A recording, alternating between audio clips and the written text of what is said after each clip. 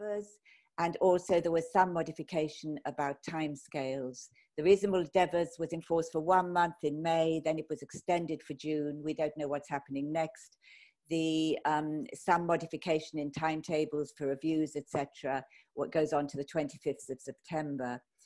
Um, there's been mixed reactions to that. As a provider, as a representative of providers, I think we had to have some flexibility. But of course, disability organisations and parents' organisations have been very concerned this could be a slippery slope. Local authorities could begin not to do proper duties for those students with SEND. So there's been some tension over that, but that's how it stands at the moment. Okay, next slide. And then we had the guidance for SEND in the reopening of schools and colleges. And basically, in a lot of words, it said students with EHC plans or SEND without plans should experience the same phase return as their peers, although there might need to be additional risk assessment and additional support. And for those attending specialist provision, a phased transition in um, priority given to those who would most benefit. There was a recognition some families were finding it very hard to cope with their young people if they had extreme behavioural issues. Also, those who are key transition points. But there was an acknowledgement that return depended on safety considerations and particularly on transport, which we begin to recognise was a huge issue. Okay, that's the a quick run through the guidance we've had. If you could go on to the next slide. Now, these are some of the asks that we have been beginning to do. And this with AOC and NatSpec working together. And just to say, AOC and NatSpec always work closely together, but we have particularly, in fact, we're on the phone with each other every day because we recognize we have far more strengths together.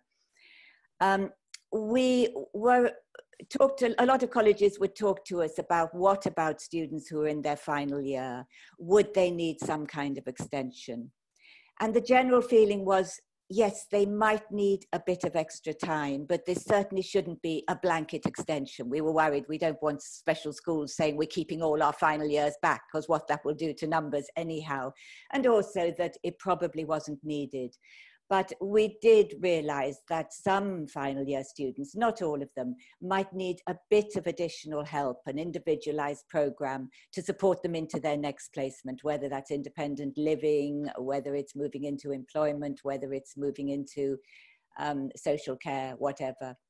And some local authorities have already written this into their plans. And if anyone wants to see the Hertfordshire one, which is very good, I can send it to you. They've agreed it should be shared we took this to the DFE and we have now got confirmation that students on supported internships will be able to have some additional time. It's not expected this will be a whole year. I think it'd probably be wrong if it was, but there will be funding from ESFA for them to have some additional time to support them into their work placement. Um, we don't yet know, and we're pushing on it, whether the DWP funding, which of course uh, helps with students on supported internships, will be available. We also just yesterday, and AOC had some notification from the DFE that implied they would also be pushing for some very flexible short-term extension for some students who were not moving into supported intern who were not on supported internships but moving into other um, placements in the future. So that's where we've got to with that. Okay, next slide. Um, there's been an awful lot of talk about vulnerable students and an awful lot of confusion over who is vulnerable and what vulnerable means. The government definition of vulnerable was those with EHC plans and those with social workers and colleges knew immediately they had far, far more students who were in some ways vulnerable, including the very many with mental health difficulties, those with autism, those with SEND, but without a plan. Um, there was a strong government pressure to have all vulnerable children and young people in school or college. They were concerned about those who were susceptible to online abuse. They were concerned with those who might have family abuse um, we, we responded very much saying, maybe that would be true of young children, but actually the ones they were most worried about, and those are those who have, um, you know, who maybe have been in alternative provision, um, don't have the best of attendance at the best of times, and actually they're the least likely to come in when none of their peers are in. And what we've been pushing very hard, and I think now they have begun to accept, is that what matters is engagement, not actual attendance. And again, I think colleges have put in place some excellent support for students. Um, I know of several colleges, I'm sure some of yours, who have support assistants or college staff ringing people two or three times a week, sometimes even every day, texting them, Skyping with them. Um, and in many cases, that has worked. Of course, we're concerned there are some students who will slip away. Um, and we are concerned that when these students come back, or A, how will we get them back? We're particularly concerned about the um, school leavers who should be moving into college. There will be the effect of having had a long period of unstructured time. A lot of the students will have had probably economic problems at home. They will, uh, you know, quite likely have suffered some, some sort of bereavement although I think it's important not to get too self fulfilling a prophecy of everybody's going to be damaged because it has been interesting, and I'm sure some of your colleges will endorse this, to find that some of those who have never fitted into the education system, who a lot of those who've been in alternative provision, who've been excluded, actually their engagement has been better online. And I think we've got to learn from that too. So there's a whole mixture of what we will have to deal with or learn from when people eventually come back to college. Okay, next. Oh, yes, and just to say, in addition to that, I did just see a report from Kooth, a very good mental health um, online uh, support for young people, and a lot of college students use this, that they have had a very high increase of young people from Black and ethnic minority groups actually asking for counselling support. So I think there is an added anxiety there, and, and we all know the reasons for that. Okay, next slide. Um, I wanted to just tell you about the resources that are available. AOC has carried out webinars on SEND, webinar on online safeguarding, and we're halfway through a series of six webinars on mental health support. These both have voluntary sector input and also a lot of input from good practice that's happening in colleges. And they're very good, the ones I've seen. Um, they're all recorded. And if you go on AOC website, you can get hold of them. And one great thing about webinars is that I think they've reached a far wider group of staff. Support staff can see them, everybody can see them. They're an hour and a half each. So do look at those or share them with your staff. And there are also on the web, web um, the AOC website, a lot of teaching and learning and support resources for the full range of students, some of whom are students with SEND. And NatSpec, who we're working with so closely, have also carried out a series of webinars and support, particularly for those with more complex needs. And they've got some resources. And these are all openly and freely available on the NatSpec website. So there are a lot of resources out there. Just wanted to mention the College Collaboration Fund. The closing date is 28th of June, so it's a bit late, but um, there's 5.4 million competitive grants from the DFE for colleges to work together and share good practice. Um, it is very late, but I just wanted to say that the areas which they're interested in coming into this do cover both high needs and mental health. So if your college is putting in, you might just have time to say, what about sharing of good practice with high needs or with mental health, although the closing date is on Friday. Okay, next slide. Um, the AOC, and this is for all students and adults, has put in a very large recovery plan to the ministers, to DFE, there seems to be a general recognition that FE colleges are key to the recovery of education and training, both for young people and adults, and there will be a huge need for this. Um, there is a recognition of the effects of lost learning and the particular challenge of those from disadvantaged backgrounds, of whom we have a lot in FE, those with additional learning needs, whether they've got a plan or not, and those with emotional or mental health difficulties.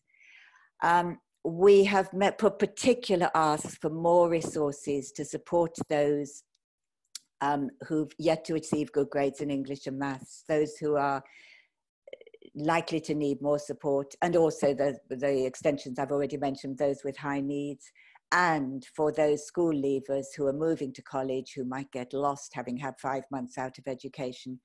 We've been incredibly disappointed, as I'm sure everybody in colleges has, that the recent announcement about additional funding doesn't mention colleges at all. It only mentions schools. And I, I think we all feel that is outrageous. We're still pushing very hard. I think we'll certainly get things for the adults, for the apprentices. How much we get actually for the ones who are so important, 16 to 19, I don't yet know. But certainly um, the battle goes on, and David Hughes, our chief exec, is pushing very hard. I think the problem is with the Treasury that, you know, we, we have ministers who are supported, we have a DFE who is supported, but we are not yet getting the additional money that we really will need. We didn't put in different categories there mental health, additional learning needs. We wanted colleges, as far as possible, to have flexibility to use additional resources. They know what their students need, who they are, and they need to use it in the way that best suits those young people.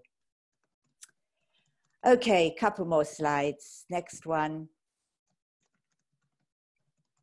Um, we had a SEND policy meeting. The AOC runs policy groups, and I run one for SEND that Pat is on last week. We did have four DFE officers there. Our really strong asks were we wanted some underlying principles. At this stage, there was no announcement about what would happen in September. We recognized it was hard to say, and I think we still don't know what will happen in September. Will be, there be an attempt to get everybody back full time? Will there be blended learning? We just don't know. But we did need some underlying principles for post 16 SEND. And particularly, we asked DFE to give us support in working with local authorities in over transport. Then it was two meters. Even if it's one, this means a lot more buses. We can't teach students if they can't come in. Um, there is still a concern, particularly if we go on with some of the support being at home, that despite government promises, a lot of SEND students don't have access to appropriate technology. And it's very hard for their families to support them if they don't have this. And we also were concerned that a lot of colleges were saying there was even more than delay in usual in reaching funding agreements for 2021. So those are the three very strong asks we've asked from DFE to support us with. Um, I just want to say a word, if the next slide. We also, and this is not particularly COVID related, this is an ongoing issue, is high needs funding we all of us in colleges know that the high needs funding system as it stands has never worked for colleges. It, it is detrimental in many ways. So what we did before lockdown was AOC, NatSpec and the Local Government Association all put in some money to fund a small research project on high needs funding. And we appointed the ACL consultants to carry this out. They're very good. They did a lot of work with Kent local authority when there were problems there, and they do know the sector very well.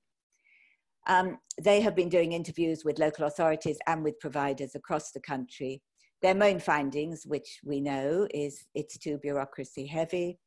Um, the threshold for element three is too high. What this means is an awful lot of students are being assessed just below element three. Colleges are having to use their disadvantage fund to fund students who should be having high needs funding. There isn't enough for that very wide and important range of students who need less funding but are still so crucial. They've made various suggestions. We asked them to really be quite radical in their suggestions, which included some sort of block funding direct to colleges for element two, lowering the element three threshold, and also one of the proposals was getting rid of element two altogether.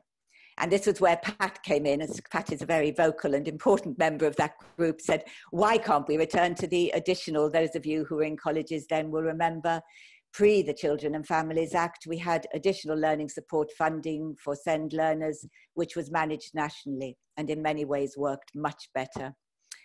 Russell Ewins, who is in charge of post 16 high needs funding, was at the meeting. He's keen to work with the researchers.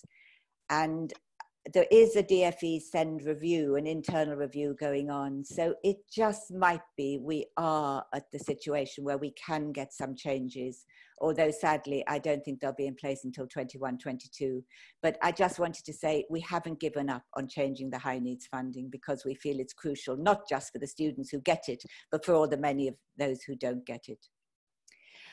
Okay, that's it. If you could just go on to the last, I hope I haven't gone over. Um, I'm sorry, my PA, for, she's brilliant, normally has put a, um, a, spelling mistake in my name. It's AY at the end, not EY. It's right at the beginning, it's wrong here.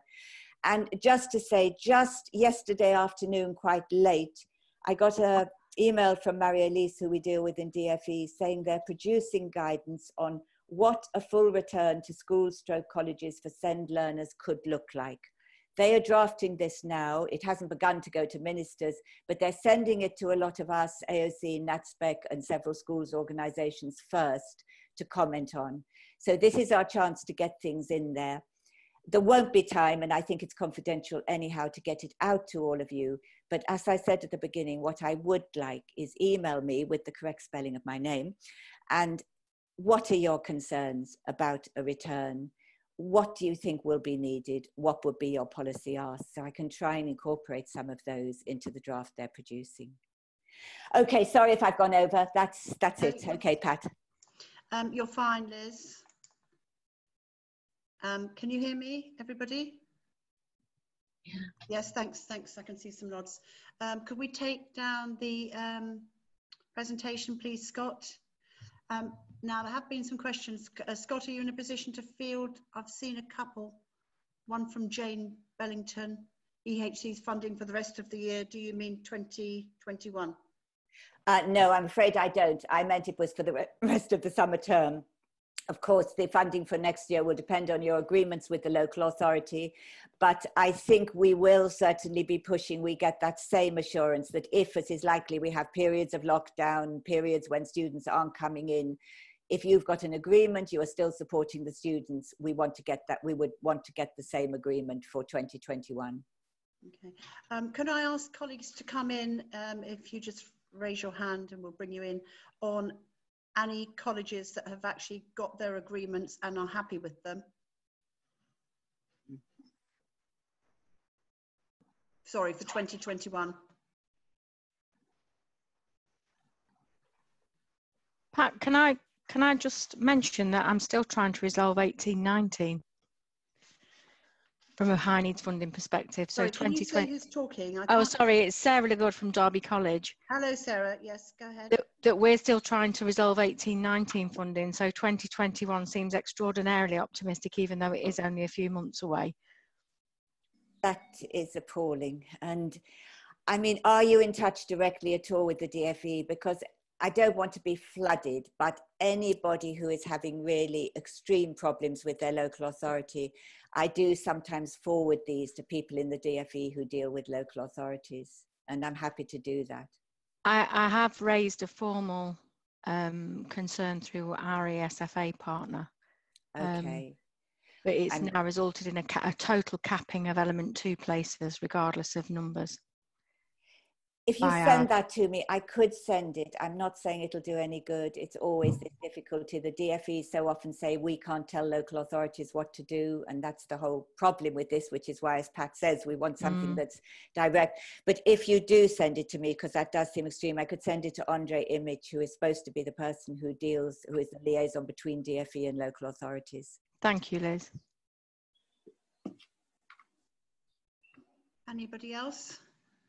So I'm assuming nobody has their funding agreed. Oh, sorry, two hands up. Can you see who they are, Scott? Uh, yeah, let me bring them in. Bring them they in, can, please. Um,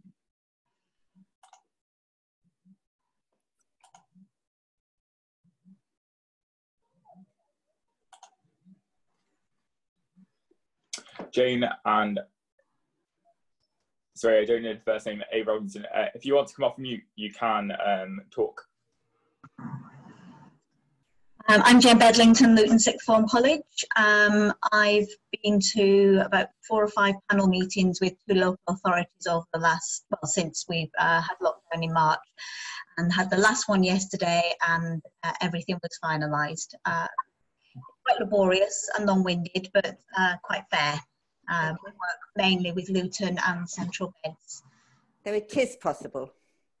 Yeah. It is possible. It's hard work, um, but we have pretty good relationships. They're very, I mean, they scrutinise, which is fair, and that's what they're meant to do. Um, I had to come back with a number of uh, queries, and they also got me to do some uh, collaboration work with another college where a student hadn't made a decision exactly which one, which course to do in two colleges in Luton.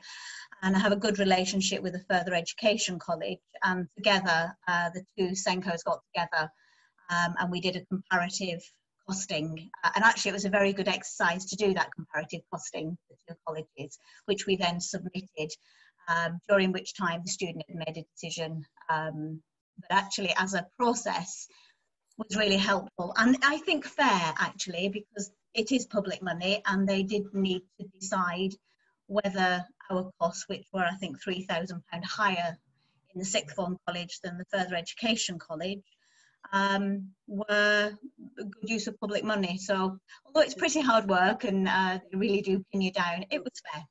Good, good, Jane. That's good to hear. Um, so also, somebody's on on the chat. Um, TJ Davis that confirmed 20 to 21, but I'm assuming most of you haven't confirmed. You know, you really have to be vocal and you have to involve your MPs. You have to be political.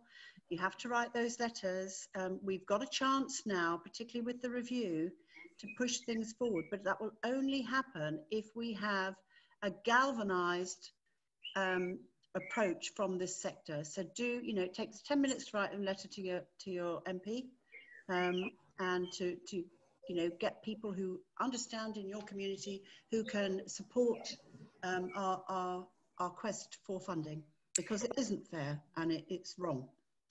Okay, I'm going to move on now. Um, if we Pat, sorry, there's I will. As soon as I get off this call, I'm going to write to. I hope you're hearing me. It says my internet connection's unstable.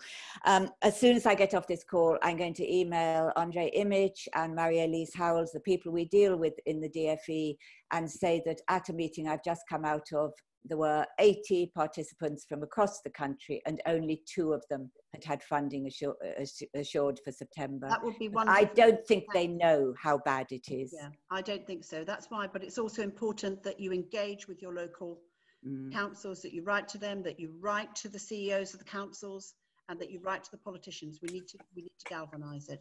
Okay, mm. can we move on now, Scott? There's just uh, one other person I think with a hand up. Um, a Robinson, I think. Yeah, that, that's me. Sorry, we haven't. I, I lost the connection slightly. I thought you were asking if people hadn't got their funding sorted. I've just got a quick question. Back in February, an agreement was reached as to how many high needs they thought we were going to have. We've gone from 77, which is what they're saying they're going to fund us for next year, to 120. How do I get round that massive difference? Um, can I just answer some of that? Your principal really needs to write to the um, local council because um, you need some clarity on that.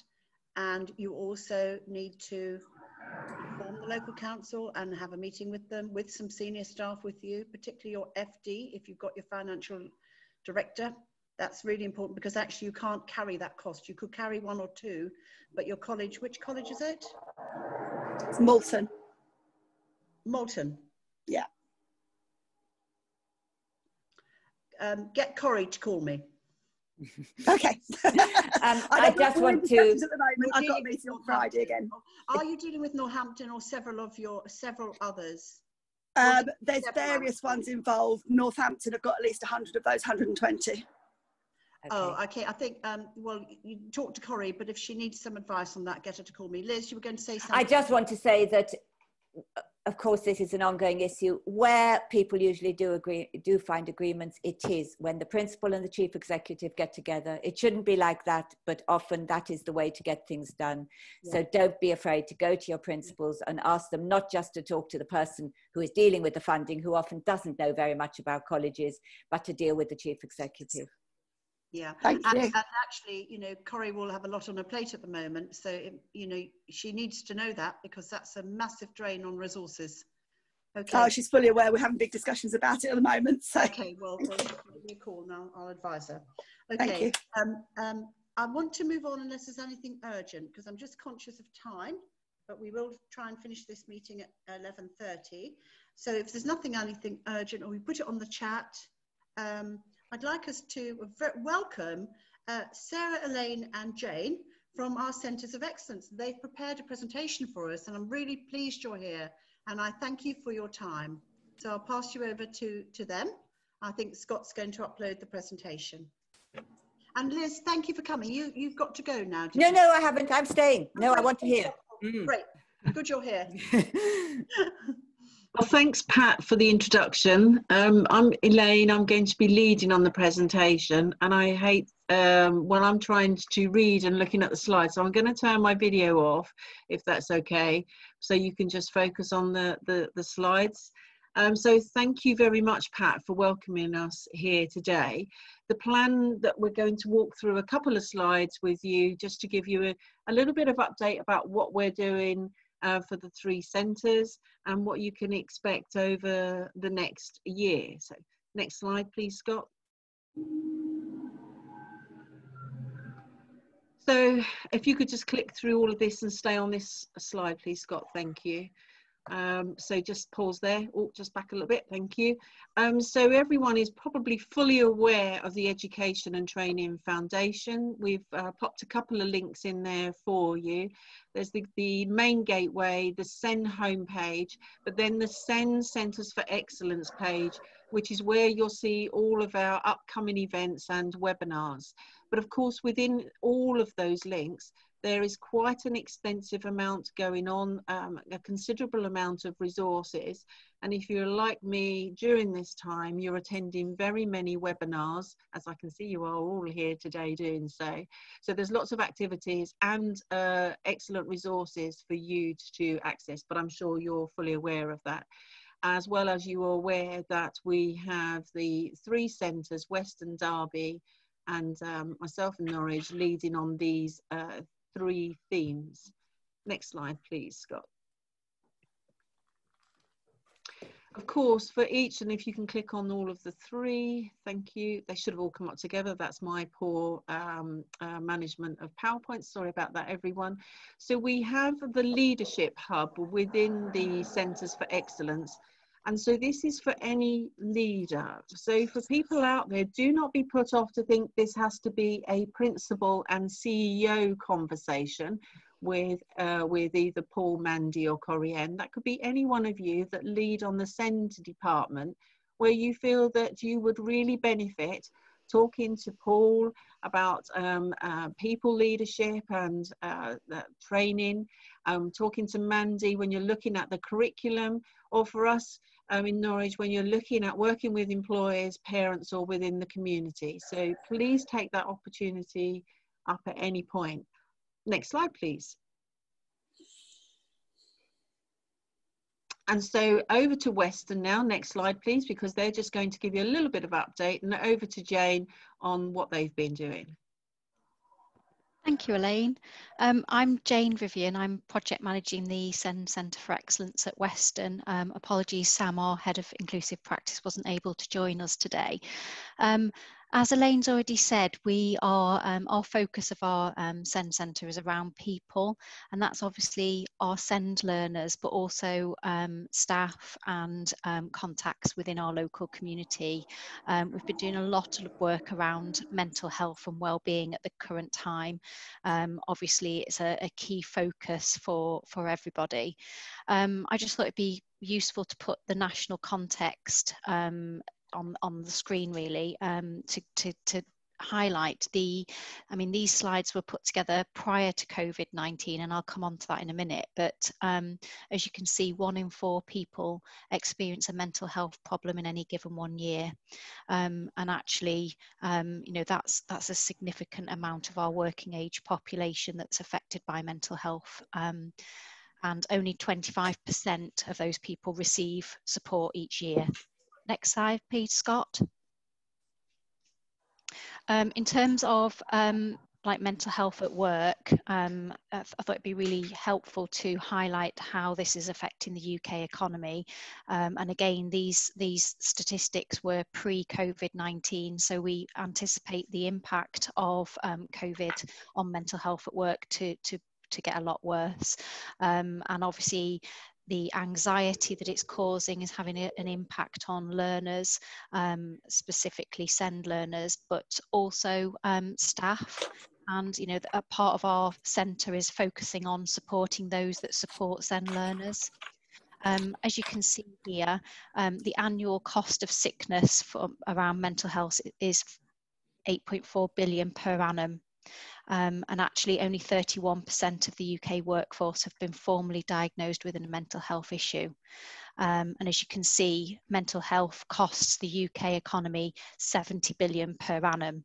So that's that's significant. That's a significant impact. And obviously, as I say, we're anticipating that's going to um, increase. And certainly, the um, conversations we're having with learners um, and also um, people within the business community, we're hearing that that is, is significantly um, increasing. So we're doing a lot of work at the moment through the SEND Centre to support people, to support their learners and to support their employees.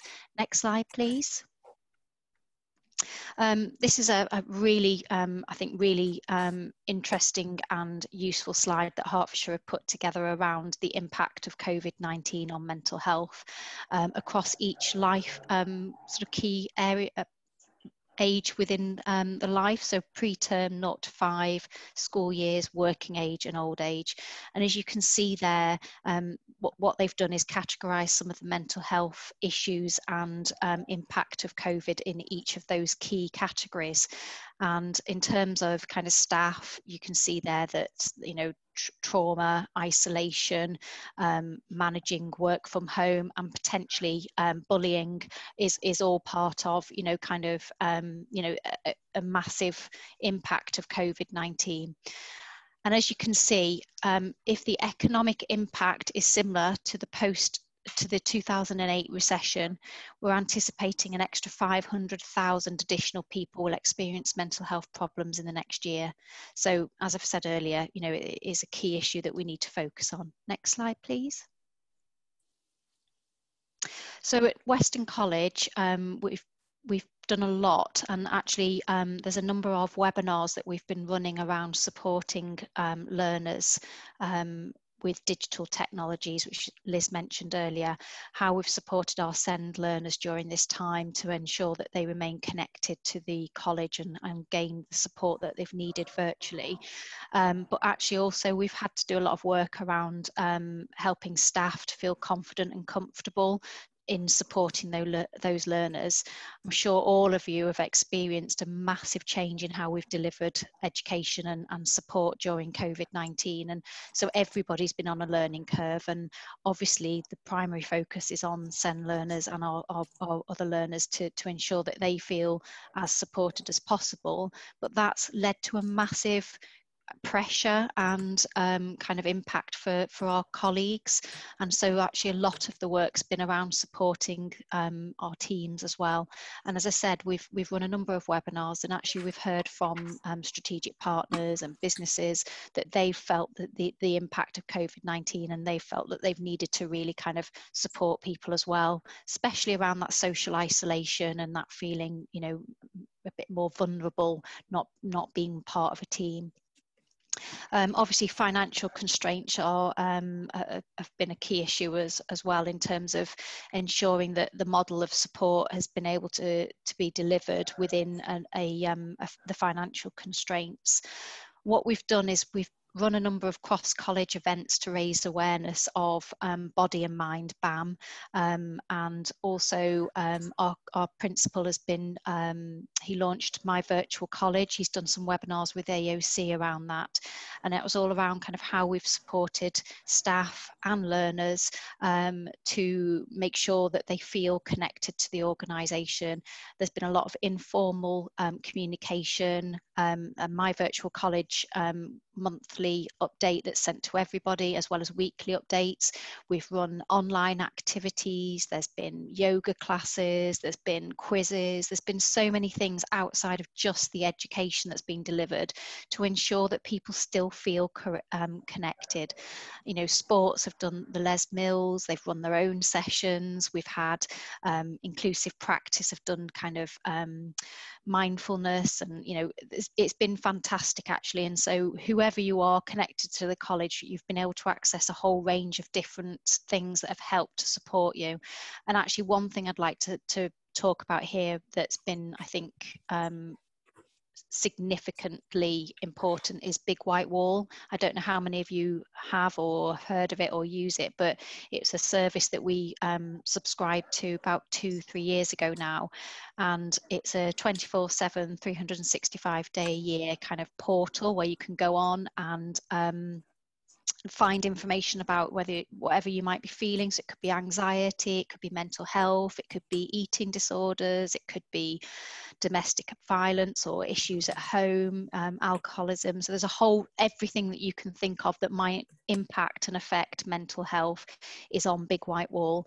Um, that complements our own welfare team um, support, but actually what it does mean is it's anomalous, so people can go on there, they can find information about how they might be feeling before they speak to somebody, um, and also post updates about that. And sitting behind Big White Wall is a, a team of trained counsellors, so they manage that service and anything that was flagged to them, they step right in. So it gives us confidence that when our team aren't available out of hours, there is a service in place to support our learners and staff. That's something I just wanted to, to highlight there that all Weston College staff and all learners have access to that service. Next slide, please. So just a very quick one, because Elaine's already mentioned this. Um, part of the Centre for Excellence, um, there's the Communities of Practice Leadership Hub and also employability. They're the three key component parts of it. Um, and um, there's a number of webinars and events that we're planning, which we'll come on to a bit later. Um, but all webinars that we've already recorded are available as a link on that website. Um, so please check them out. And if you want a list of what we've already run, please let me know. Thank you. I think that's it for me for now. Scott, I think I think I'm next. So thanks, Jane. Do you want to just click onto the next slide for me, Scott? So morning, everybody. Uh, I'm Sarah from Derby College Group.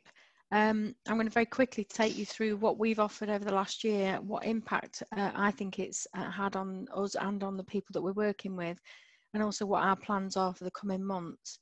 So um, exactly the same as the other two Centres for Excellence, we split our work into two key areas. One is around strategic leadership and the other is around developing our communities of practice for operational leaders and anybody else working with young people um, to improve their experiences and their life chances and obviously impact ultimately on them progressing or getting a job.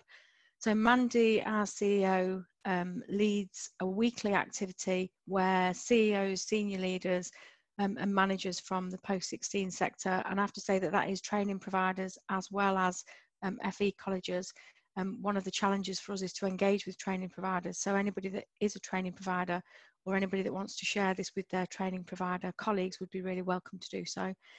Um, and Mandy offers uh, kind of reflections on our journey. Um, our approach as the other two centres is very much focused on the fact that this is an ongoing journey and we're not there yet. So it is very much about learning from our peers and, and that's what appealed to us about be, becoming part of the, uh, the centres. Um, Mandy talks very passionately and eloquently about the methods and the mechanisms she's used within our college to effect changes. So a key driver for her is around our strategy and the fact that every strategy in the college, the overarching one and all of the supplementary elements of that need to be inclusion focused and inclusion based. And she um, will come out to um, organisations or we'll do it virtually um, for the foreseeable future. She'll actually deliver, deliver design thinking training, which is one of the things that we've done around taking a, um, a challenge or a, um, a curriculum design issue for us and create a solution using all of the, the people, all of the stakeholders involved in that activity. Um, it's a five stage process, it's very simple. The other key thing that Mandy did, which we've used extensively, is she created or she uh, iterated the 20 key leadership questions that she asks us as leaders within Derby College to make sure that we are inclusive in our practice. And so we've shared those with the people who've been working with, and they often use them um, to inform what their urgent and emerging priorities are. Scott, will you nip onto the next slide for me, please? And if you just click through so it the next one part comes up as well. So I think that's it. So the communities of practice work we've done um, have been predominantly face to face and then offered in organisations. So we use an appreciative inquiry model and we've been delivering that with Anita Devi, who's a SEND specialist and uh, SENCO coach nationally. Um, and we do a two day workshop. One is around starting with that positive and looking at your provision and mapping where you are, you are and celebrating the positives. And again, it's engaging and using everybody in the process to do that and also to then look at um, how that impacts on our intent and how that goes back to informing strategy. And that's for every level of practitioner. So whether it's your learning support teams, whether it's your managers, whether it's your funding managers, it's all of those people, and that's been a real positive. Um, and the feedback, I've just put a quote there, it's been a real eye opener for us. Um, we're working quite closely with four or five colleges now over a 12 month cycle. So we're hoping to um, to kind of be able to share their, the impact that, that that project's had. Um, we've also built um, a, a, personalised study programme guide, which the, um, the image at the bottom shows, and it's almost like an old-fashioned flick book. So you go through it and you use it to unpack a study programme and repackage it for an individual. So rather than delivering a level two animal care program, we may have one or two learners who are on a radically different study program, still in the same room, still um, participating in the same academic work, but doing very, something very, very personalised to them. Um, and then the, slide, the slide on the right, um, it's around the workshops that we've offered. Most of these have been face-to-face, -face, but we're just in the process of swapping them over to virtual workshops. And the kind of overall intention around all of this is to really explore the fourth eye in the EIF, which is inclusion, and to really make sure that people are able to iterate that in their strategic plans, in their operational curriculum plans, and also to make sure that when Ofsted arrives, we are all able to iterate the fact that we work inclusively and we personalise learning for individuals. And it isn't just those young people with EHCPs. The project in the first year has really clearly been focused on the rest, not the EHCP students. So that's been a real, uh, a real positive for us. Scott, will you just click one more for me? Um, and just to mention that this is the kind of teacher learning and assessment COVID recovery plan that we've currently got in place. So we're working on um, expanding how inclusion wraps around each part of part of this model. So all of our curriculum managers have been given five um, structured options on delivery and planning for September. And we as an inclusion service are now going to host an inclusive teaching and support day around these five models of delivery. There's still some research going on because it seems that the simultaneous model, although it seems very simple, from the outset will be very challenging, particularly for students with um, with either, for our, in our case, uh, an inclusive learning plan or an EHCP. Um, we've had to radically review how we work with those students on the pre-learning model because they need support during pre-learning. It's not just they do it independently because if that was the case, they wouldn't need learning support in the first place. Um, and we have found that our um, substantial support teams have actually, um, I naively at the beginning of this thought there may be an opportunity to really flood them with some excellent CPD. And what I've actually ended up doing is paying overtime because they're working well above and beyond their scheduled support timetables. And it's been really significant for us. Um, and as Liz alluded to, the feedback has been absolutely excellent from, uh, from parents and young people and the other people supporting them. Um, so for Derby College, I think that the plan over the next 12 months is to really refocus our work. Obviously, some of it, that refocus will be the COVID impact, and most of it is very much around progression and that real journey into employability. Um, and that's going to be a key driver for us because the data nationally still is obviously not where we, any of us would want it to be. Um, there'll be another little bit at the end about what our immediate plans are, and I'm going to hand you over to Elaine. Thanks, Sarah. Um, Scott, you all right to move on to the next slide, please? So um, Norwich's focus over the past year have been working and looking at community, parents, but our greatest focus last year, and we've extended that into this year, is working with, uh, with um, partners and our employers. But currently we're working on getting students back to the workplace. So if we just move to the next slide, and then I'll just talk through what we've been up, uh, up to. So um, what's been quite interesting, and we took this information from Disability UK, is first and foremost, before I get on to moving learners back into the workplace, is a knowledge and understanding about what employers really want. Now, this was quite an eye opener for me when um, um, I took this information from Disability UK. So we can click on the first link, please. So where you think actually employers would work, would want um, uh, certain uh, uh, skills from young people when they're looking at all of their attributes, they're actually talking about disability.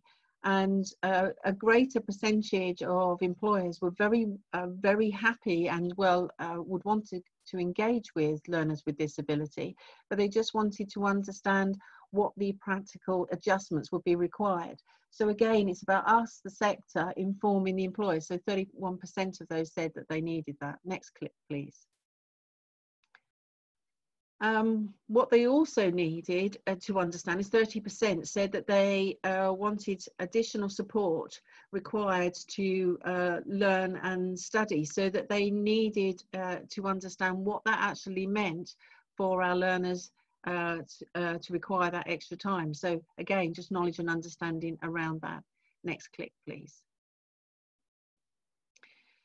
So what they also wanted to know about, and I'll show you um, our guide in a moment that um, I will share with you after this session, is additional support to help existing staff to support a disabled employee. So where we have a learner in the workplace, how to effectively uh, support um, a learner or young person in the workplace. Next click.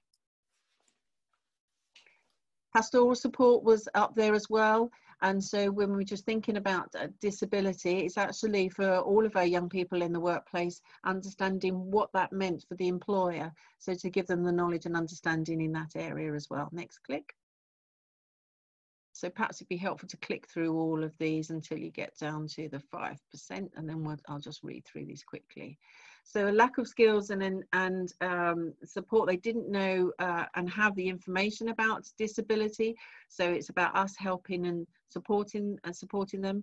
Financial uh, approach and practical adjustments. So if we needed to make any reasonable adjustments in the workplace, how to support them with the Department of Working Pensions and how to apply for that, for additional funding that we would be able to support them if, if we were um, accessing element two and element three.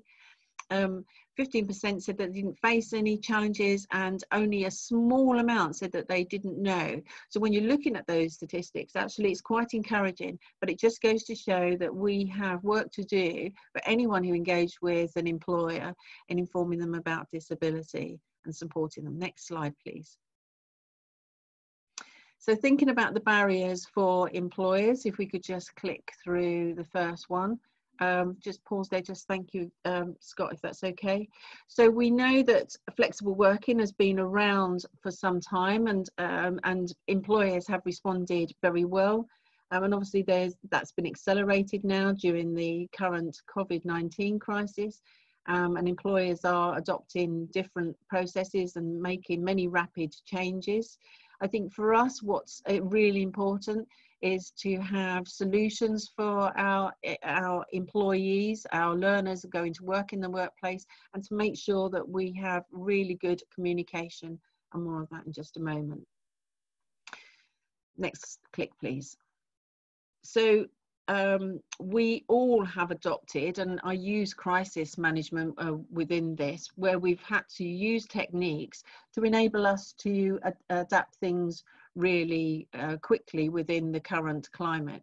But of course, as we've heard here today, and you've all adapted very well, there are opportunities that have come out of this. Um, and there are many of our learners uh, learning very well online. We're all working online much more effectively um, and at a distance. And so there are developing opportunities that we need to exploit when we're looking at putting learners back in the workplace and what we might need to do. Next click, please. So mental health and well-being, um, as you've heard just a little while ago, uh, Weston have um, highlighted actually the extent of, of data and we know that that's going to increase. I think our role is to support employers with having empathy, support and well-being for our learners in, in the workplace. Um, and of course, there, there will be lots of information coming out from Derby uh, for, for upcoming webinars. Next click, please. So the new employment landscape, well, the effects of COVID-19 crisis is uncertain, and we know that it's going to be significant. And many employers will be finding their way, uh, ways of working and their circumstances altered considerably. And I think there might be some very honest um, uh, conversations and perhaps some difficult ones that will need to take place. But our learners must know how to conduct themselves in the workplace and feel supported in doing so. And I think it's our role to help with that. And again, as I said, more about that in just a moment. Next click, please. But of course, we know that right now um, we are attempting to navigate our way through this uncharted territory and actually doing quite well. So there is a change to the working environment. And we've seen even on the news uh, this morning about how businesses are making changes and adapting themselves within the workplace. So hopefully there will be some positive lasting change uh, within that. But we have an opportunity to support our employers with the experience, support and uh, put risk assessments in place to uh, guide our learners in the workplace. Next click, please, which I think just covers that last one. Thank you. So how are we going to support in the workplace? Next click oh, it's not come up in, perhaps click on all of them. Sorry about uh, that. And the last click is the first one, I'm hoping. There you are. So we, we will be making sure that we have rotas in place um, for our learners going uh, back into the workplace. And I am thinking about those not on work placements, I am thinking about our supported interns and we have a supported employment agency where uh, where we get work for our uh, young people. So we will be looking at rotas to include very specific times with a work plan. We will be making sure that they are very clear about their designated work areas uh, when we're looking at that social distancing, although that's been relaxed slightly, but we still need to be mindful that the one meter needs to be very clear and where their designated areas are to reduce any risk of infection what we will be doing is drawing up a support plan from the risk assessments that you've all been doing already and that all of us are very uh, well versed with, but sharing that with the employer and to put those reasonable adjustments in, in place within the workplace.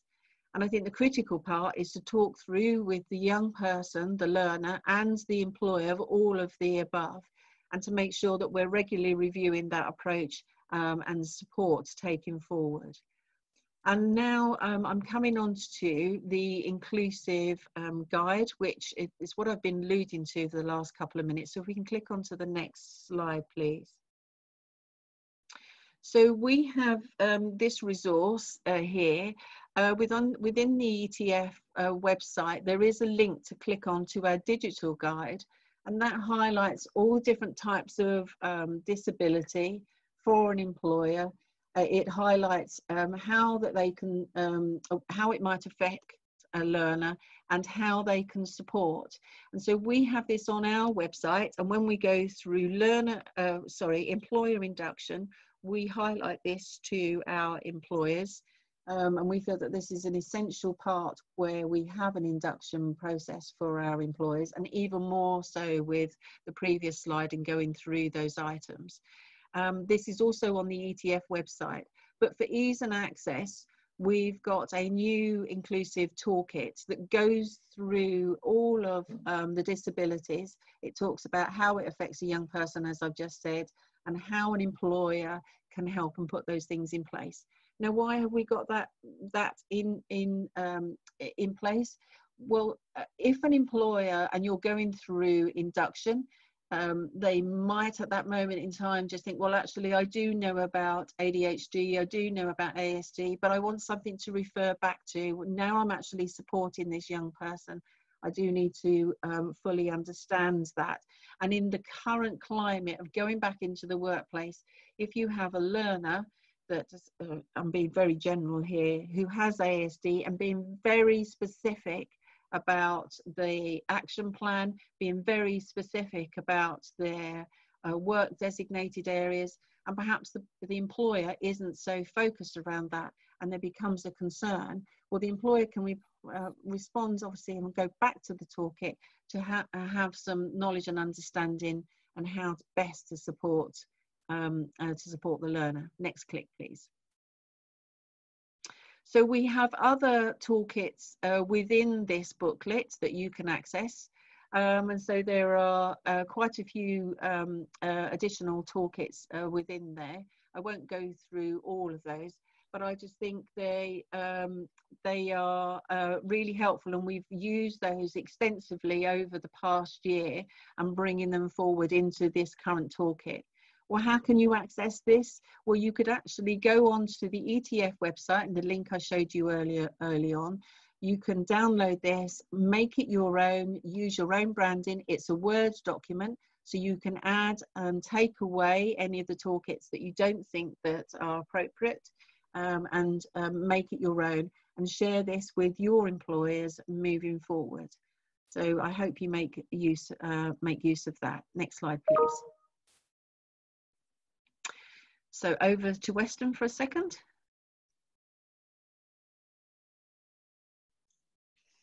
Sorry, I was on mute then.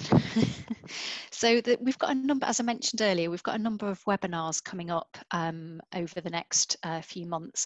We've actually scheduled these until September, but I've just put the first three that are coming up um, just to, to highlight what's happening.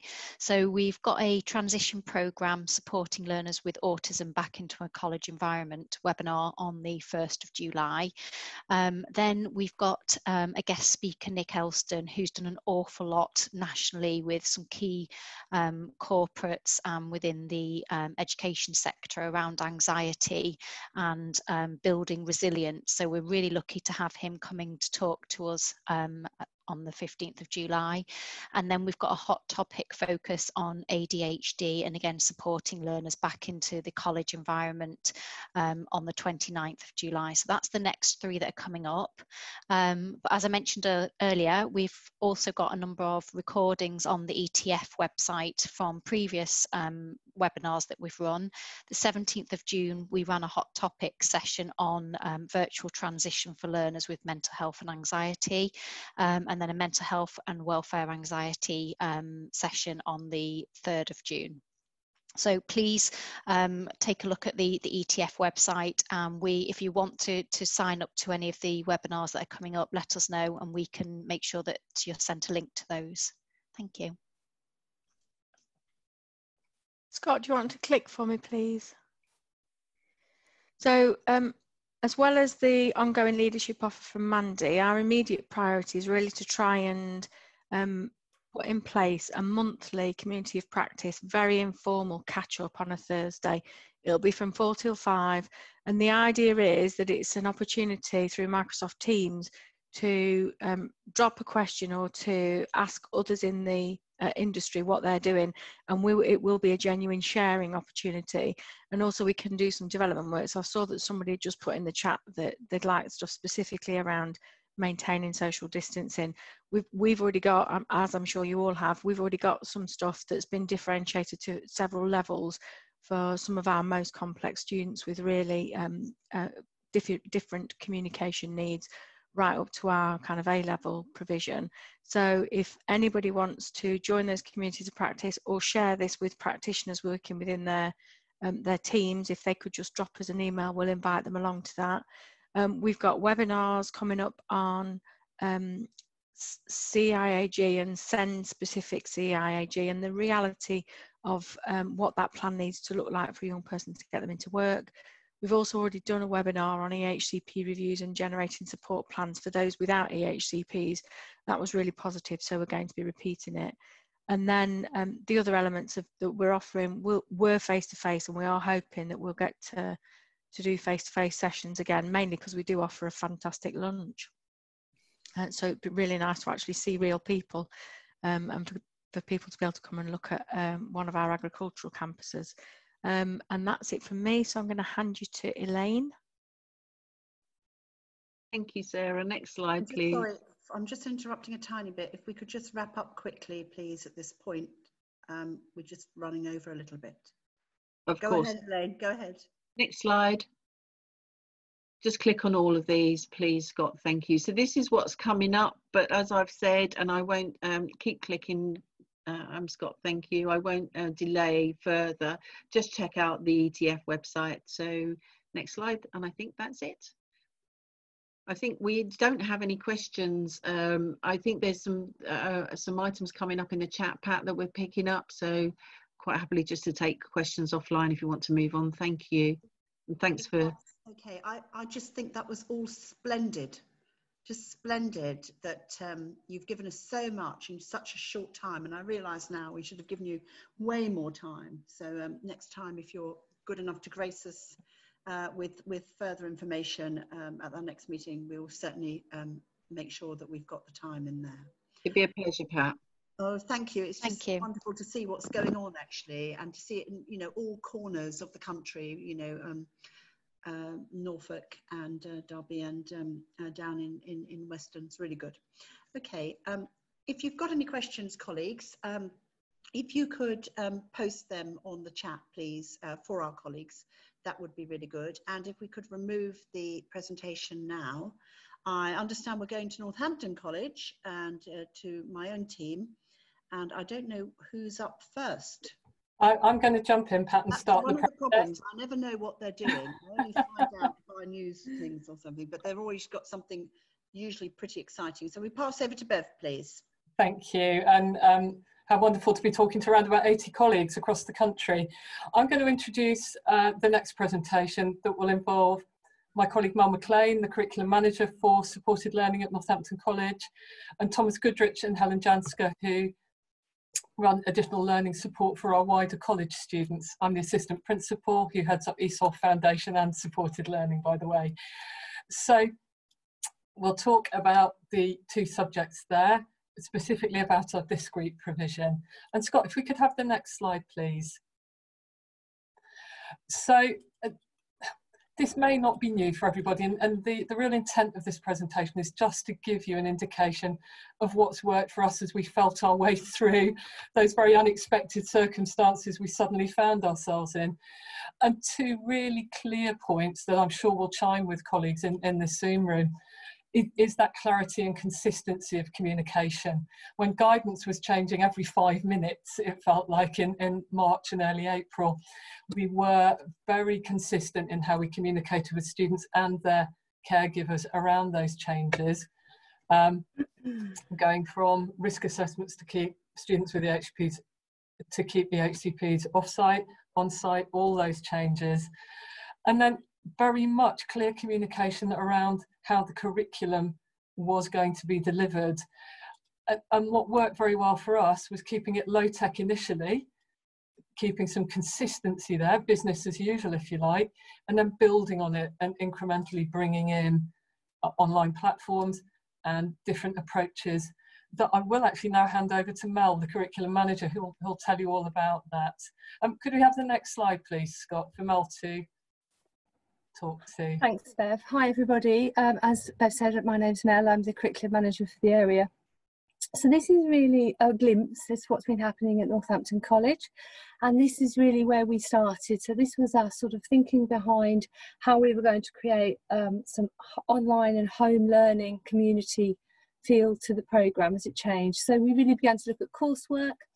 So we wanted it to feel accessible, but with teacher input, individual basis, and that we had to ensure that we tracked it, the engagement was there, and the connection was there. And I think that word's been used quite a lot, but it's really important.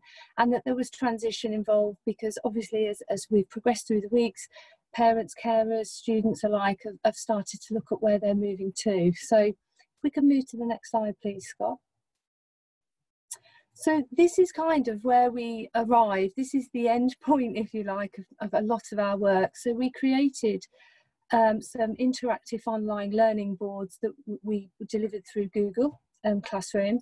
But really, this is a glimpse of how we set it out because what we learned very early on is that we needed to keep it very consistent, very ordered and structured so that uh, students were able to follow it, and more importantly, as importantly, parents and carers and those in the household were, also following it too. So we created a schedule um, Monday through to Friday in terms of expectation because things, as you, as everybody said, change at home.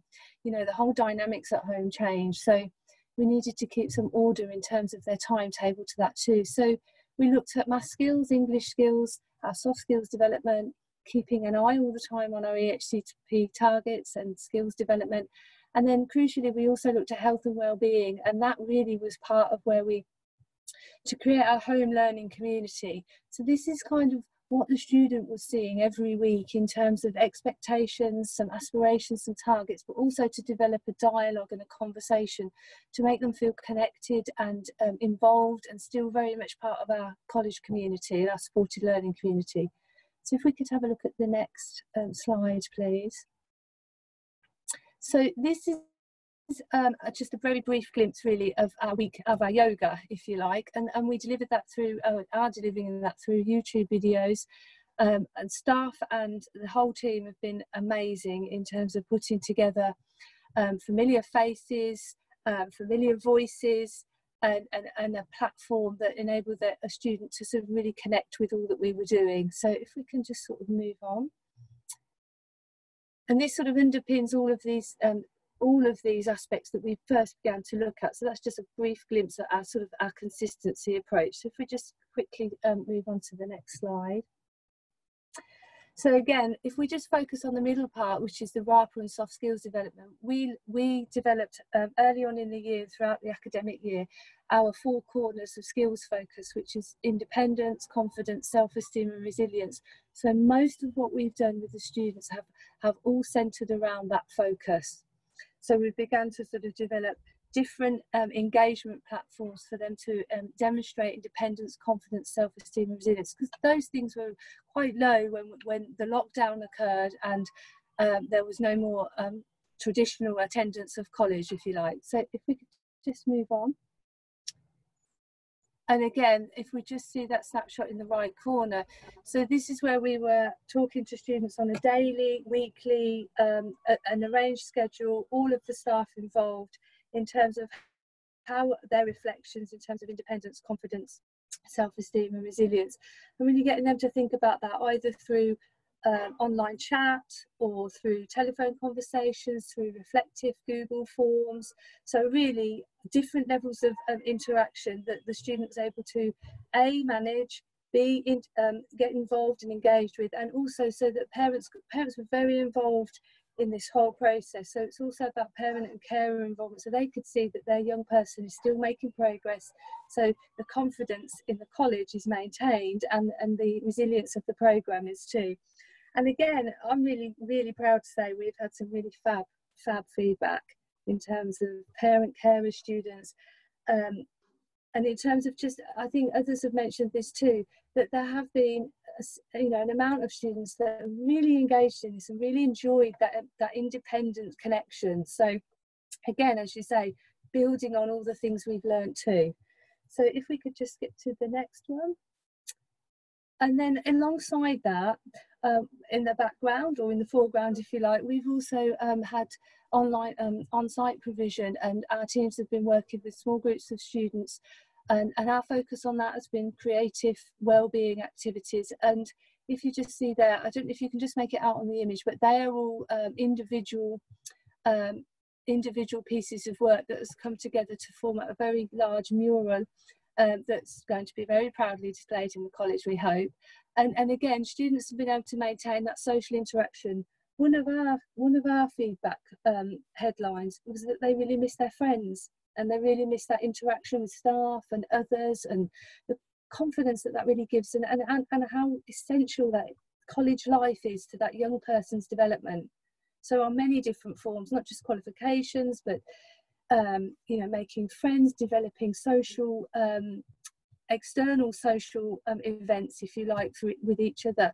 So, and in no small part, I have to say, it's given us a really excellent dry run for 2021 reopening. So, I, I feel the, the the learning curve has been steep. but also really enjoyable along the way. You know, that's at the heart of what we do to be back in college, to have students in the college, to for the college to feel that it's working for the students. So we've you know we've learned an awful lot about hygiene measures about social distancing which is ongoing as everybody's probably experiencing and just the reality of the available space and, and it's really given all the support staff and the teaching staff a real insight to how we best use our college how do we best use that in terms of supporting and progressing students. So I think although that's a very brief um, glimpse into to what we've been doing, um, if I hand back to Bev so that she can talk to you about our, our 2021. Mm -hmm. um, Thanks, Mel. Thank you. Could we have the next slide, Scott? So a, a, brief overview really of how our approach to the next academic year is building on that lockdown experience.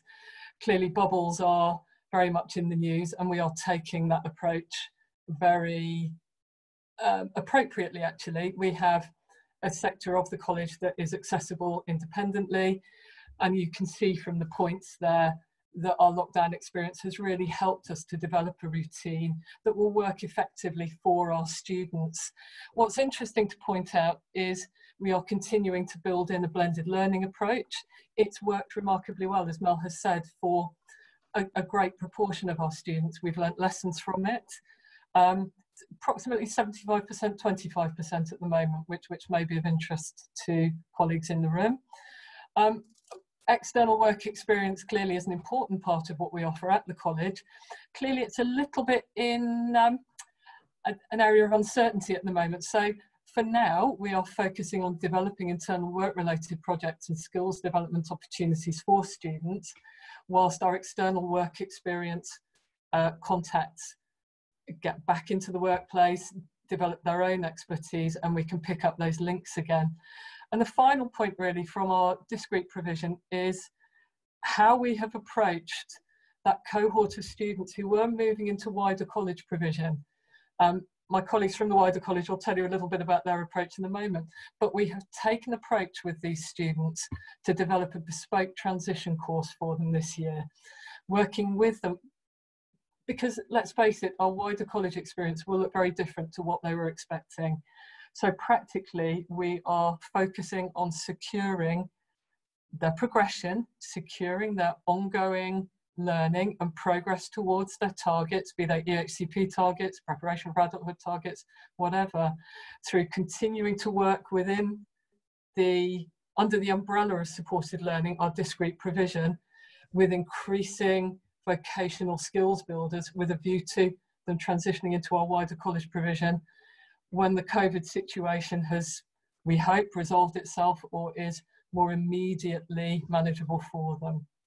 So if I could hand over to my colleagues Thomas and Helen, who have the responsibility of our wider college support, and I'll tell you about their experiences. Hello everyone. Um, Scott, could I have the slides? The next slide, please. It is the following slide, isn't it?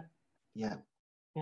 Yeah. Thank you. Um, so I'm going to kind of give you a little bit of um, uh, uh, overview of where we were with the wider college.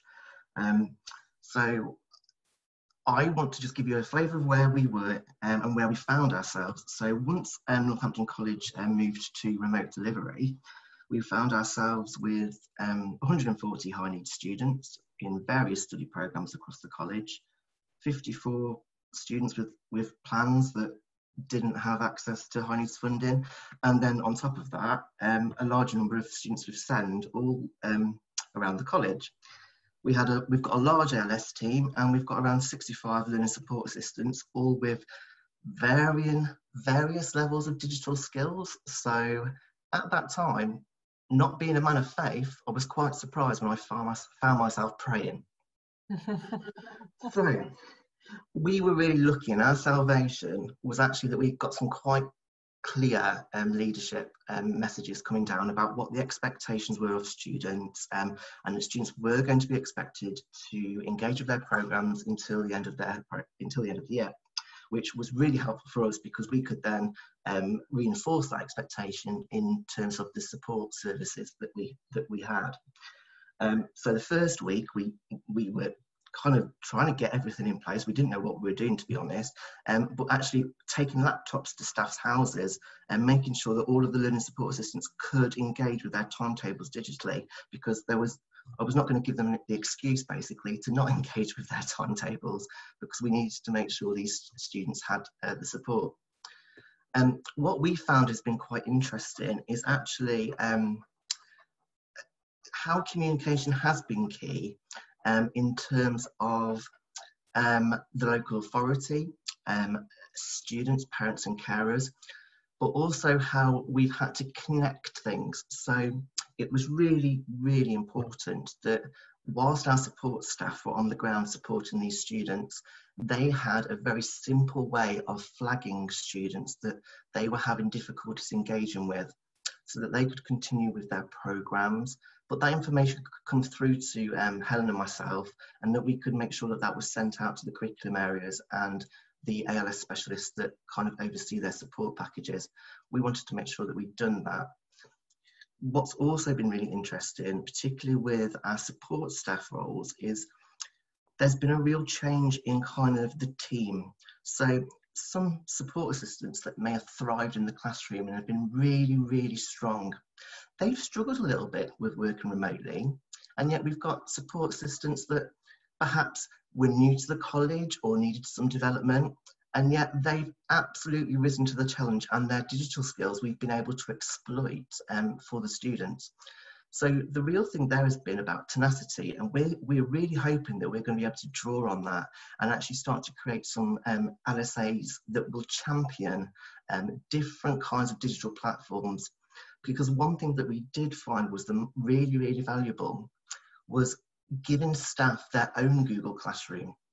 They were interacting with it with students and they were Skyping students and they were emailing students and that was working really well. But actually the quickest way was for them to upskill each other because they were quite a large team. So the peer support there um, was really, really helpful. Um, could I have the next slide, please? Um, what we've done um, through um, lockdown and to help prepare us for 2021 is we've actually got what we, me and Helen call Operation Call Centre. And this has been absolutely um, invaluable. So we've used it at various points during lockdown. And if we look at the, the, the slides that Liz showed us, and it's really, really powerful to see what we've all been through as a journey. Um, at, at, certain points when guidance came out, we closed down and we, we changed our service and we turned it into a call centre. So we did it the first time when we would um, we went into lockdown. We needed to make sure that the students were safer at home and that their needs were being met to identify any for our vulnerable um, student programme. Then we went into a more I want to say formal risk assessment process where we um, created telephone scripts and the, the staff actually went through with the students all of the questions that we needed to, to find out from them. Um, and also one of the things that we really wanted to look at was the devices they had um, and also what kind of barriers they faced during remote learning. And that includes new students that are are going to be new to us in September because in their current settings we need to know have they got a laptop have they got a smartphone have they got have they got um, cameras and microphones? Um, and actually, if we know now where they've struggled, and we do have, already have that information, um, that's actually been sent out to the curriculum team so that they can actually see that. And we've also um, asking about medical conditions because we really need to make sure that we are considering um, any situations that they're in, in in terms of bringing them back into college and that's going to be a very very cautious and considered um, process. Um, in terms of communication with stakeholders, we have continually developed, we are trying to drip feed into our um, into stakeholders what college might look like in September, um, trying to let them know that actually we will be supporting you. We're going to be looking at some Zoom events over the summer, particularly for those on the spectrum, um, that we can actually start um, talking to them about actually how support's going to look, seeing if we can get someone on site in a very, in a, in a very cautious way. Um, communication with local authorities. Now that has been interesting and I think that what's worked for us there is just letting them know everything that we are doing so that their requests from us remain reasonable and have perspective. And then the last thing that I want to talk about or just quickly mention, and that's something that we're currently working on at the moment, is responding to the very com complex picture of how each curriculum area is going to be designing their delivery for next year. Um, that's something that we're going to have to look at. And again, that's about managing expectations because there is only so much resource. And if we have a lot of small groups, we might have to really think about how we're going to tackle that. And also some areas are saying, actually, we want to manage our students, but when they do their remote delivery, we really want the support to be there to keep an eye on those students, to be calling them, to be checking on them. So that's going to be a really complex task because each area is going to have different requirements. And as we all know, each student is going to have, it, have their own requirements too.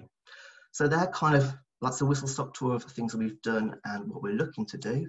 Um, and of course, um, if anyone does have any questions, um, just um, put them through and um, we'll answer them. Thank you.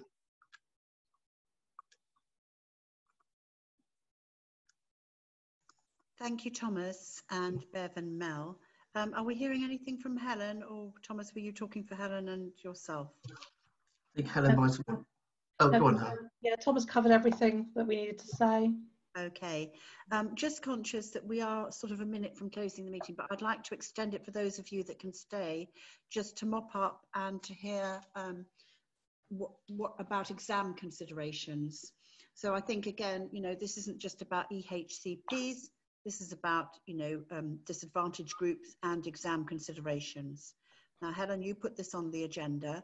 Would you like to just air what your concerns were?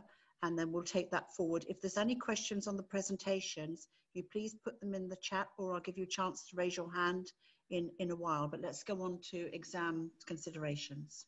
Yeah, I was just conscious thinking about how, um, with the two metre social distancing, how we're going to effectively maintain, be able to cope with the volume of assessments that are needed.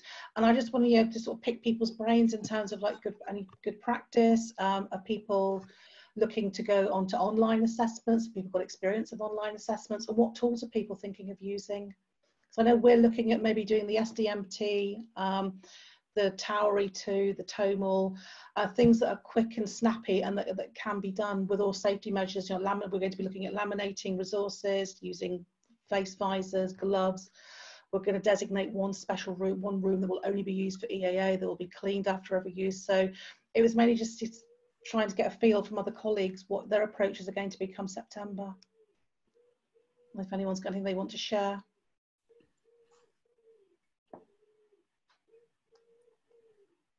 Can't see any anybody. Um, I just come in quick. Um, Tessa Zen, who is at AOC, has been dealing with exams and has been doing a lot of work, particularly on the assessment for vocational qualifications which need close contact, like hair and beauty, etc. Mm. Is that the sort of thing you're thinking of? Yes, yeah. Um, listen, Kath who has far more information on that than me. Um, if you email me, yeah. I'll forward any queries to Kath and get her yes. to get back to you. Okay. Thank you. Liz, I've got a meeting with Kath. I'll pick it up. Oh, okay. You I just actually thought, just as Helen was talking, I thought actually this is one for AOC to Yeah. raise with each awarding body and the General Council. Um, just to say they are already doing that, Pat. But if you're talking with Kath, you will find Kath has been uh, talking with awarding bodies endlessly. Yeah, and it's the General Council we'll need relaxing on, won't we? Yeah, yes. Mm. It, it is. Okay. It is underhand, but it's not my particular area. Yeah. So, will you deal with that, Pat? Will you deal with Yes, Kath? happy Okay. to do that. uh, Fine. Liz, um, I understand uh, what um, Kath will be up against there. That, um, Yes, deal with she all the is. awarding- we have team meetings every afternoon, and she's know, come I off know. the phone with one awarding body or another. awful. So, so I think, um, colleagues, obviously that one seems to have passed uh, uh, by a lot of you, and I can understand why because you're busy. But obviously, it's one for thinking about, it's one for scenario planning, and you've also got to think about the fact that students may well have been out of um, formal education. Some of the students that we will be looking for exam consideration um, since March. So your reading ages will have dropped. Um, writing speeds, all the rest of it. So that's something to, to look at. Okay, um, we were, uh, when we talked about our college, we talked about reopening plans. Just like to give anybody else an opportunity if they'd like to talk about their um, reopening plans for September to share or any concerns that they've got. Could I share something on examinations? Mm-hmm. Sorry, just going back to your original question, I'll just check my hand. Um, I just put a note in the um, chat because I was aware that um, a lot of students will be choosing to take their GCSEs in their um, secondary schools. They may wish to take some GCSEs, but obviously the colleges are still responsible for maths and English if they have to retake um, within their new institutions. Um, and therefore, Nicolate has confirmed that all um, scanned documents are acceptable um, for rolling forward any feeder schools you have for Form 8s. So the hopefully the assessment process uh, will be better. I know I've contacted all my uh, feeder schools to confirm what I need from them very early on in September for any retakes in November or whenever that might be. Um, there's another thing that's gone out of my head. Oh yes, um, with regard to what what uh, tests and things that you may need to do for new students who haven't had exam arrangements before, I'm just using the guidance that came through from PATOSS. Um, I'm a dyslexia assessor as well, so I'm just using their guidance that they use for um, all dyslexia assessments and disabled student allowance uh, for university. There's a very uh, specific guidance on that, on what you can do and what you can't do for one-to-one uh, face-to-face assessments, which are entirely relevant for exam access arrangements because many of the assessments are the same. So I don't know if that's um, helpful or anybody's got any comments on that. That's really helpful. And actually, technology doesn't work really, does it? I said it did because I missed it. And obviously, you've all, all got questions here. So I think we'll stay on this topic. Um, yeah, the SAS guidelines. Somebody's saying let's get it up there. That's it. I couldn't remember the initial. Saying that um, the JCQ guidelines were going to change. I haven't seen anything, but we'll pick that up with Kath at the AOC. She can maybe champion us for that. And um, oh, other people are. Elaine's got a, a comment. Anybody else got anything? So Pat, it's Elaine. I'll share the Yeah, guidelines with Yeah. you to, to send out afterward if that's helpful. I, I was actually quite. I felt quite reassured reading through those. So um, uh, yeah, I'll pass those over. Okay, so lots of people sharing here. This is really good. Uh, obviously, one to think about then, and and a huge a huge task. So normally a huge task, but probably a bigger task um, coming this year. Yeah. Okay. Pat, I, I think there's a question from Lee in the chat, um, and he's wondering if people have concerns about virtual support and safeguarding. Okay, can we just close off the exam consideration?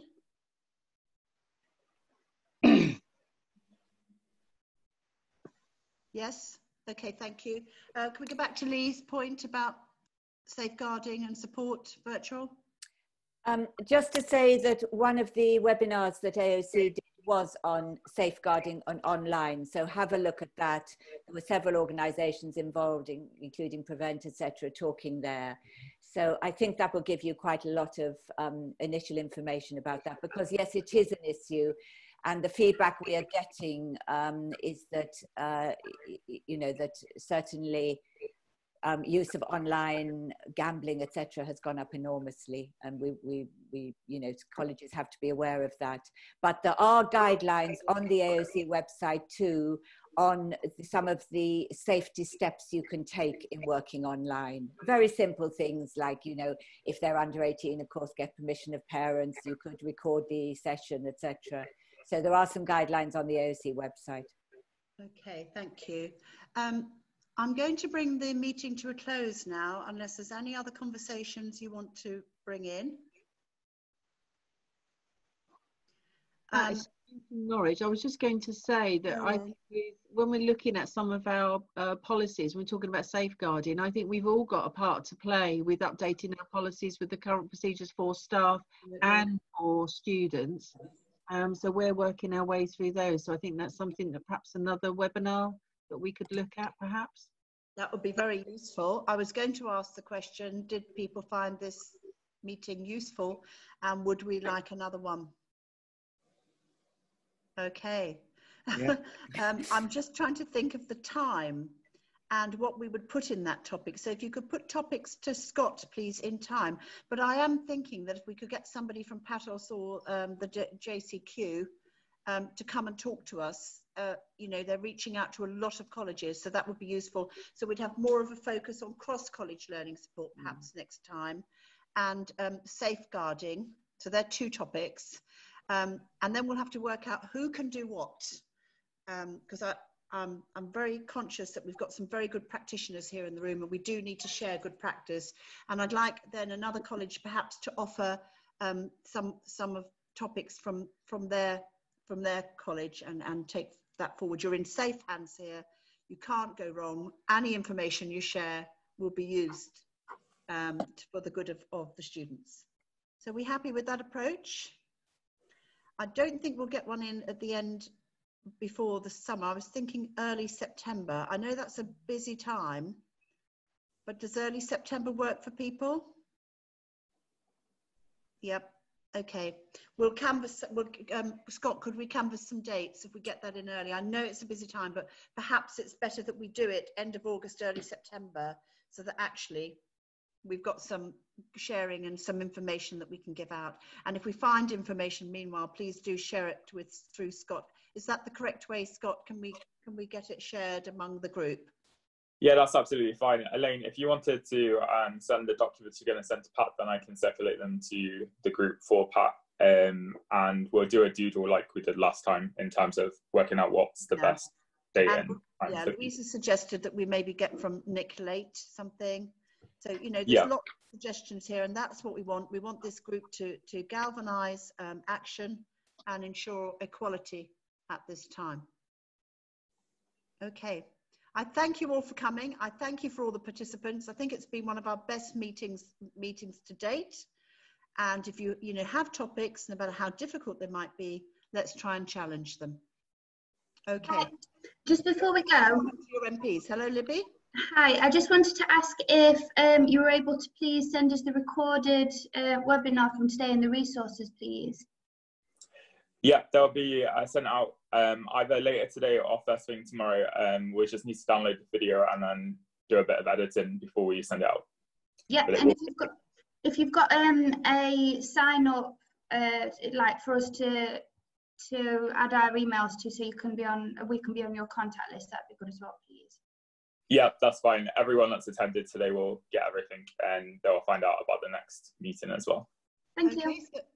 So, anyone else? Okay, I just want to thank our speakers. I want to thank my own team, Scott for arranging this, and obviously Liz for coming. I think it's been really useful. Best of luck to you. Do not forget to get those MP letters out. Get them out now. We need some money.